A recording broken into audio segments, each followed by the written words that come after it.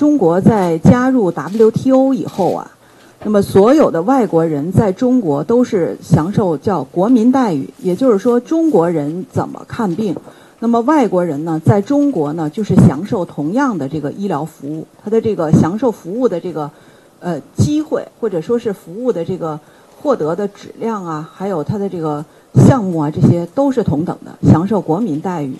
那么说到具体到这个新冠肺炎呢？呃，所有的在中国的这些外籍人员也可以享受到中国的这个新冠肺炎这个医疗服务。我们一直在关注呃舆情啊，包括关注人民群众对于看病就医的这些需求。那么在这些舆情反应当中呢，目前我们还没有呃看到说外籍人员在中国新冠肺炎就诊不及时，或者说有就医困难的这样的一些情况反映。呃，从